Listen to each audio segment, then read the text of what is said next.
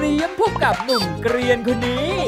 จะพาคุณผู้ชมน้องๆหนูๆไปทำความรู้จักกับเกมการ์ดต่างๆ ทุกรูปแบบคุณพ่อเล่น Vanguard เป็นไหมครับ เล่นการ์ดเกมกับผมไหมครับ ในรายการหนุ่มเกรียนอยากเป็นเซียนการ์ดทุกวันศุกร์เวลา 17 นาฬิกาเป็นต้นไป ทางตูนามิที่นี่ที่เดียวนะครับ